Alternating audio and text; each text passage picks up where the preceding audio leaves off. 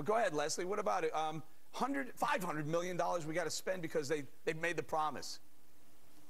Well, uh, first of all, I don't think that we should be funding any program that's defunct or isn't going to benefit. But this isn't just a Democratic deal, Curtis, and you know this. Republicans benefit in their own state for monies that go to their state, just as Democrats do. NASA, I, I, Ellen, I love, I, you're- I love you. You're so funny. Yeah, let's make everything in the private sector or unions involved. We can't blame Obama. Let's blame the union. When it comes to NASA, guys, are we forgetting that this is beyond just space? Are we forgetting we're in a war on terror and what satellite technology can do and the scientists at NASA can do for us and even help to do after but the Leslie, BP I'm, oil I'm going to throw it to Peter. This project has already been canceled, and we're still paying Well, it- 95 I agree a with you there this that is- we should not. is- I said we should not this- fund a defunct project. is a canceled typical- project should not be So, funded so what are we going to do, Leslie? Hold on, Peter, if it was get, a I'll get to you in a second. So, so. Leslie, should we break the contract?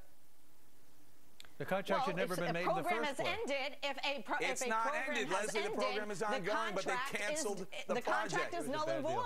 Void. It's if a bad I deal. die, You my know what? contract doesn't break exist. the contract. Break the It's a unions deal. and break the The- NASA no, contract. you don't break a Go ahead. This- contract. You this don't is- make the deal in the first place. don't break. this- Eric. You make is- look,